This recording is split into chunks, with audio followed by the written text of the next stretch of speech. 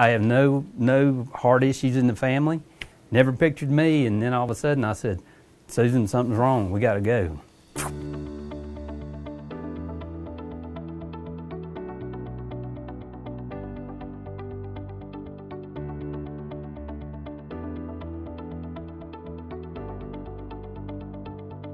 I started having pain right in my jaw, and I told my wife then, I said, something's changed. This is not good. We need to go and go now. And then by the time I got here, I was flatlining. As soon as I was able to help him through the door and he collapsed, they were there with a wheelchair.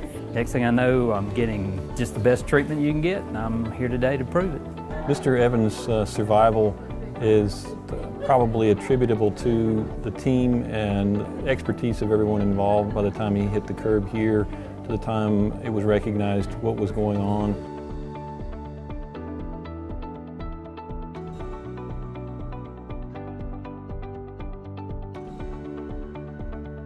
I'm standing here because this team is competent and they were patient. They knew their jobs. They worked as a team. That's the biggest thing. All of that level of care was just perfect, and it could not have been better. I mean, the outcome is he's here.